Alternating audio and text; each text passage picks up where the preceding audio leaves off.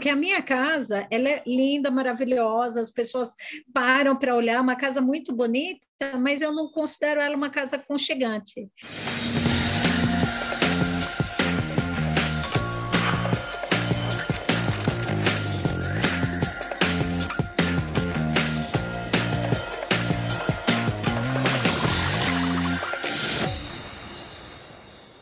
Meu nome é Vilma Bortô, eu uhum. moro no município de Poá, em São Paulo, fica na Grande São Paulo, dá uns 50 quilômetros do centro de São Paulo. Uhum. Eu sou, sou professora alfabetizadora e, e atualmente é, estou na função de coordenadora pedagógica. Ah, bacana. Eu fiquei, depois de um casamento de 22 anos, eu fiquei viúva em junho de 2018, e, e aí... É, a gente mora, no, eu, eu, moro muito bem, né? Eu moro num, numa região central da minha cidade, numa casa de, de, o terreno tem 3 mil metros quadrados, a casa tem 26 cômodos, mas tem outros herdeiros. Uhum. Na época que foi concluído o inventário, nós alinhamos de fazer a venda desse imóvel, que é avaliado no valor bem alto e tal, mas no final das contas, ao longo desse percurso, eu me envolvi com uma outra pessoa, né? Eu conheci uma outra pessoa que infelizmente morreu também. que horror, Meu né? É, morreu de é, a gente estava morando lá e a gente já estava planejando mudar, né? Porque lá uhum. o IPTU é caro, o custo da casa é muito alto, né? Precisa de jardineiro, precisa de funcionários.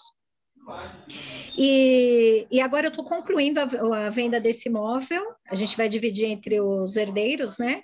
E eu tenho uma outra casa também no município de Poá, que é uma casa antiga, é uma casa assim velha, e mas é muito mais, cabe muito melhor na minha vida. Eu tenho uma filha de 22 anos que faz faculdade de medicina. E, e essa casa, é, eu estou esperando concluir a venda da casa que eu estou morando, estou morando lá atualmente, nessa casa grande, para eu poder fazer, para fazer a reforma.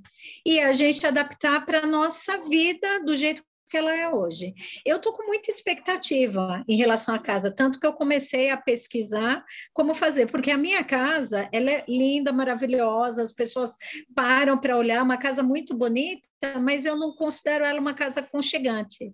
Eu nunca, é. porque era, foi o sonho do meu marido. Ele construiu cada milímetro que tem da casa, era o sonho dele. Uhum. Sabe? Então eu não é. interferi, eu nunca liguei muito para isso, mas agora nessa nova fase da minha vida, eu quero morar bem, entendeu? Não importa quanto tempo eu more lá, eu Sim. quero deixar aconchegante. E muita coisa do que eu vi que você colocou no grupo do Facebook, ou, ou acompanhei alguns vídeos do YouTube, e eu consegui perceber, teve uma, uma acho que era no YouTube, no Instagram, não sei que você fala do formato do cutelo, uhum. no quarto. Uhum. E aí eu nunca dormi muito bem na minha casa, e todos os quartos da minha casa têm esse formato do cutelo. E muita coisa assim que faz sentido. Uhum. Então, assim, minha filha mesmo, né? É, minha casa é muito assim, um estilo mais é, clássico, tudo muito madeira, uma mesa de oito lugares e tal. E eu não quero, eu quero uma coisa mais moderna agora, só para mim e para ela. Eu comecei agora a assistir a, a, aula do Baguá, é Baguá, né, que chama, uhum. porque quando eu contratar o pedreiro, eu já vou olhar, vou fazer o Baguá e já vou adaptar os espaços dentro do Feng Shui. É, é, quando você comentou a respeito de tirar o sapato e tal, eu já tinha, antes de saber qualquer coisa, tá? Porque minha vida estava de ponta cabeça. E eu já tinha falado falado para ela, eu falei, filha, nova casa a gente vai deixar, vai, nem que tenha que comprar um móvel, a gente vai deixar fora, a gente não vai entrar com o sapato da rua em casa. Eu comecei muito assim me ligar nessas coisas. E por conta desses impactos que eu tive na vida, eu não que eu me espiritualizei mais, mas eu comecei a me interessar muito por um outro lado, porque o meu marido morreu assim nos meus braços. Eu não sou uma pessoa, como que eu vou dizer, religiosa. Eu, uhum. eu não acho assim que a gente chega do nada e vai para o nada. Eu acho que existe alguma coisa. Mas eu não, nunca fui muito interessada. Mas quando meu marido morreu, ele ficou três meses na oncologia.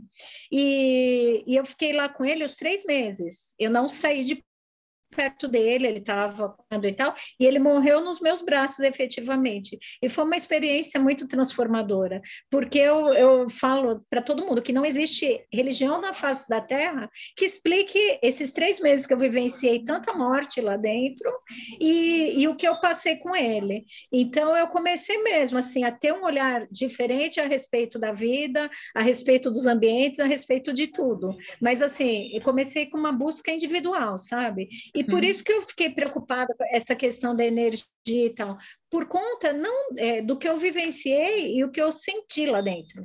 Porque mesmo eu não sendo religiosa e tal, é, não dá para falar que não tem nada, sabe? Eu vi muita coisa que ninguém então, por isso que eu estou preocupada com o lugar que eu vou morar, como que eu vou adaptar os móveis. A gente, se a gente pudesse, na minha casa que eu moro hoje, é tudo embutido, a cozinha é toda planejada, os guarda-roupas todos embutidos. Mas assim, a gente não está querendo levar nada. Eu, que, eu quero começar assim do zero. Você já conhecia o Feng Shui? Como é que você me conheceu? Como é que você resolveu entrar no curso?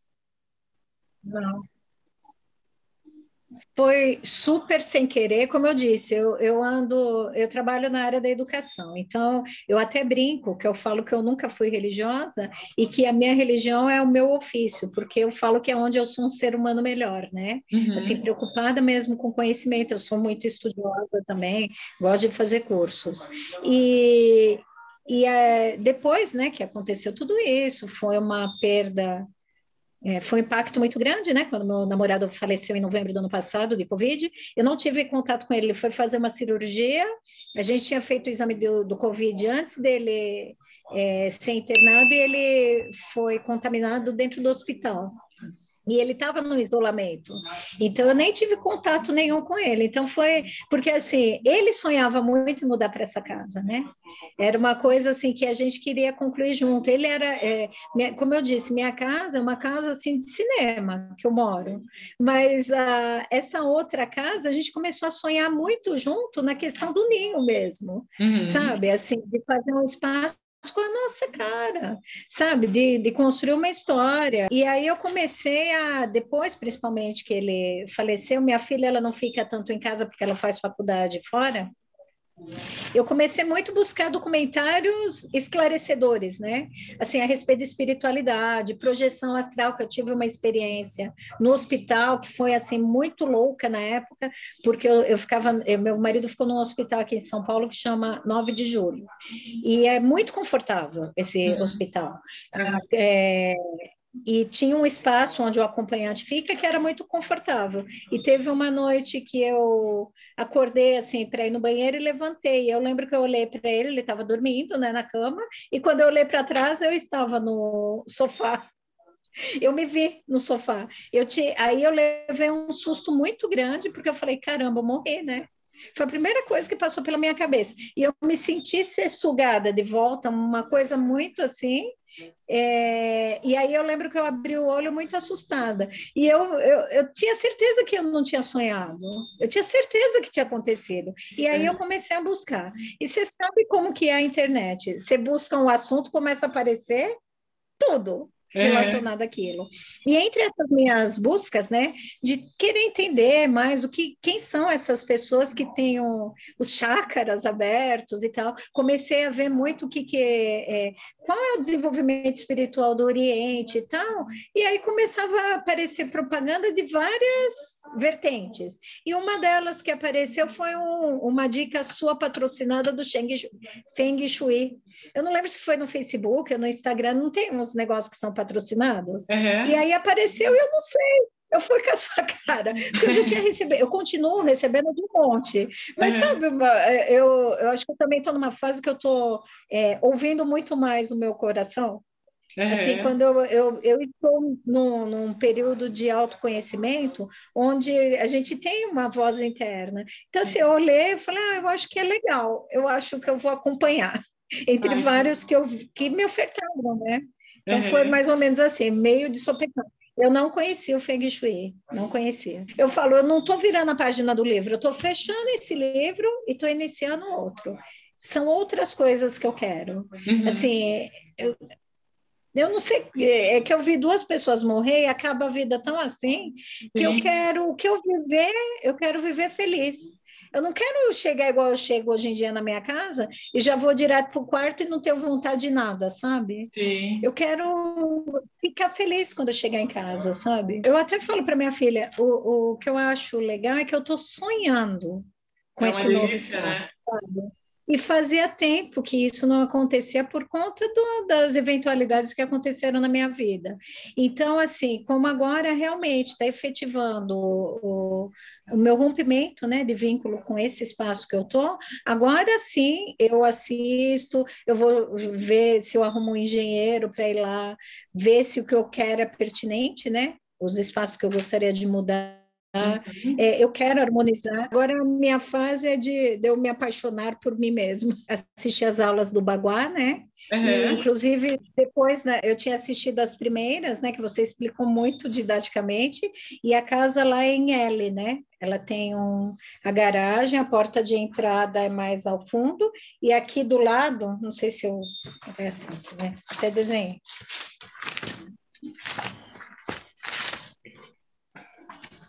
Não sei se dá para dá para ver?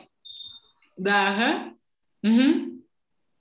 Então, é, a porta só tem uma entrada, que é a porta de entrada, mas aqui tem um espaço muito grande, então eu vou ter que fazer dois baguá. Esse onde é a sala e eu vou fazer depois a churrasqueira aqui no fundo, que fica até mais alto, e o baguá de onde são os quartos e os banheiros. Uhum. Porque ela é em forma de L. Então, por isso que eu gostei muito da forma que você explicou, e depois que era a primeira aula mesmo do curso, o complemento você explicando os casos que são em U ou em L, lá é em L. Eu falei, uhum. poxa, que bom, já, já, já vou lá para medir. Então, sim, muito, muito. Tá Obrigada certo. pela atenção. Eu acho que eu, eu tá, como eu disse, como eu estou nesse término de ciclo, é, eu chego naquela casa gigante, sozinha do trabalho, eu chego, vou tomar banho, né? Porque eu tenho medo da história do Covid e tal. Às vezes eu nem como, do jeito que eu estou, vou direto para o meu quarto, eu nem uso minha casa e só uso a banheira porque é algo que eu aprecio muito. Mas mesmo uhum. assim, agora com frio eu uso menos, que lá é aquecedor solar, eu acabo uhum. usando menos. Mas assim, é, eu quero ter a satisfação de chegar do ninho mesmo, né? Do lugar aconchegante e tal. E foi muito importante esse contato que você fez, porque foi uma coisa assim que, ah, eu comprei o curso, ah, eu tenho um ano para fazer, depois eu faço. Então, tanto aquele encontro que você fez no, no final de março, foi, eu acho que, não lembro quando que foi, começo de abril, uhum. você quis conhecer mundo. Então, assim, isso me empolgou muito. E depois, quando eu recebi o e-mail, eu falei: não, eu tenho que tomar uma vergonha na cara, porque eu, eu ainda estou nesse processo ainda de como eu vou dizer? Sabe quando você fica mais introspectiva, né? fala, ah, depois eu faço, uhum. procrastinando?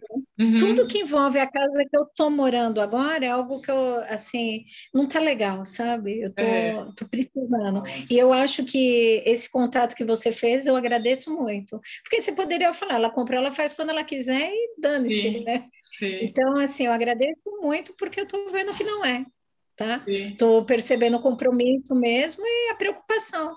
Se, como eu disse, a minha profissão me torna melhor, a sua certamente. O seu olhar sobre o que você está fazendo é é o mesmo que o meu.